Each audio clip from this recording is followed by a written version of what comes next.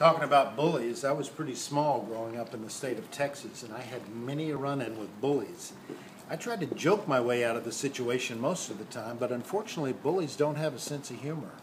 So I took karate and learned how to defend myself. That was a long time ago. I find it hard to believe that we still have this bullying problem in schools. The fact of the matter is, most bullies are insecure and take their anger issues out on others. Well, that's too bad. Because believe me, no one deserves to be bullied and no one likes a bully. Whatever problems you have at home, don't take it out on others at school. By disrespecting others, you're disrespecting yourself. Life is hard enough without causing trouble. And remember, that bully reputation never goes away. So instead of picking on someone, try helping.